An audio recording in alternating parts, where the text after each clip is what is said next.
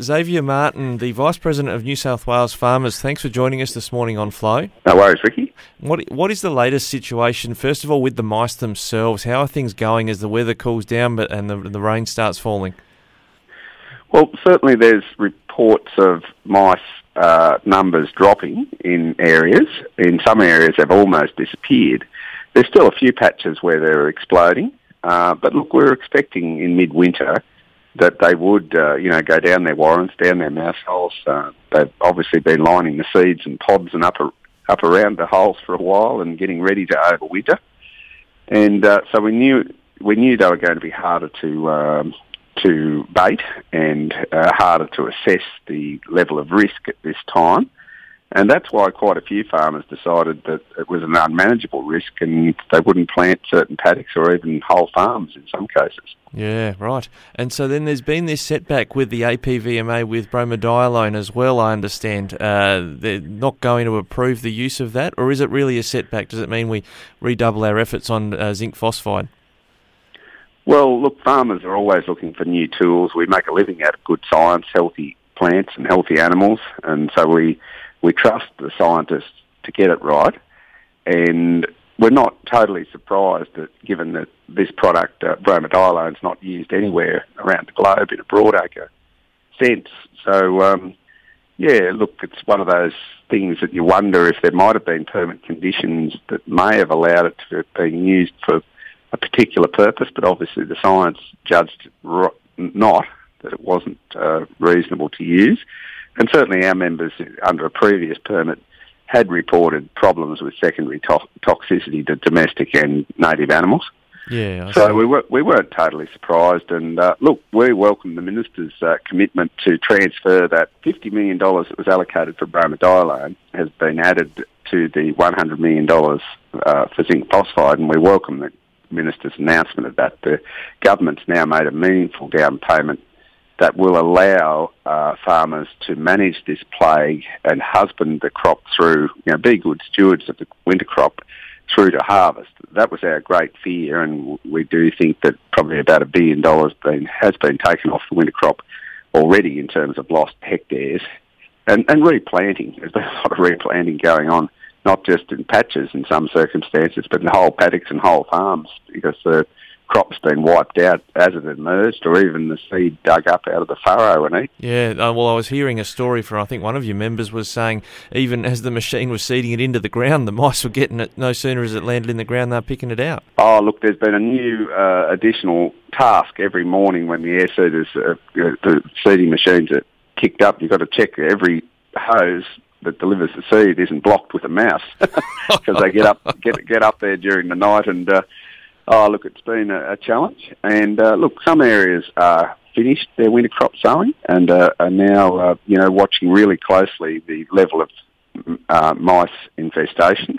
Other areas uh, not even half sown yet and are trying hard to manage the bait availability and uh, the timing because the showers of rain, the rain actually washes the concentrate off the bait and therefore inactivates the bait, and so it's not desirable to apply bait either just before or during rain.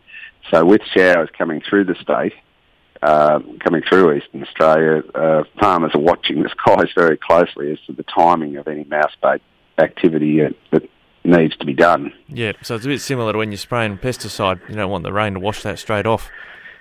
Exactly, but even more so, Ricky, because farmers have to plan probably at least three nights ahead, and preferably four or five nights ahead, to make sure that they've got a maximum chance of the mice coming out and taking the bait. Yeah. Now, on the baiting side, just on bromadiolone, it is possible to get a permit, I think. There's not many given, but it's not totally off the cards for some farmers if they desperately need it. Is that right?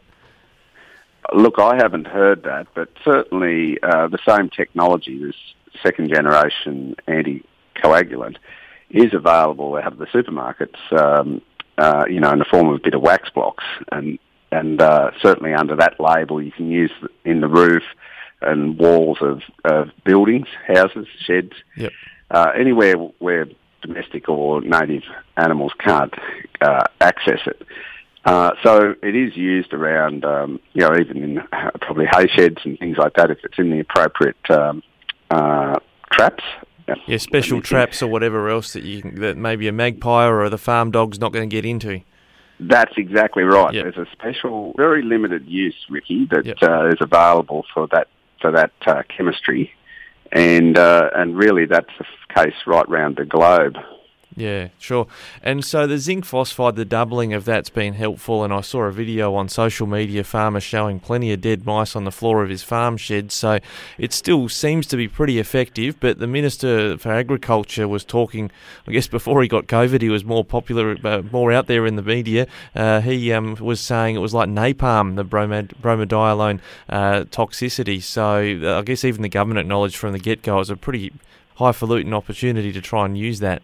Oh, look, we were critical of the minister's decision around bromadiolone and applying for the permit because we had a here and now problem where the winter crop was, uh, we were racing to get the winter crop in across the state, six million hectares, and farmers were pulling out of it as the minister was making these announcements.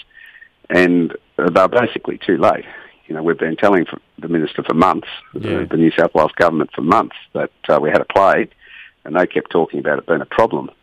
Uh, so look, we welcomed the minister getting it right eventually, um, getting the support for zinc phosphide. We are concerned that suppliers are, are telling us that the uh, concentrate for the zinc phosphide is at its limit in terms of accessing out of India, uh, the main uh, supplier.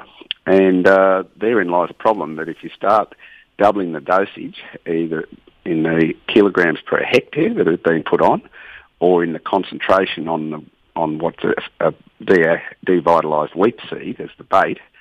Uh, if you're putting on 50 uh, grams per kilo instead of 25 grams per kilo, you very quickly can only treat a quarter of the hectares that you have been with the standard zinc phosphide bait. Mm.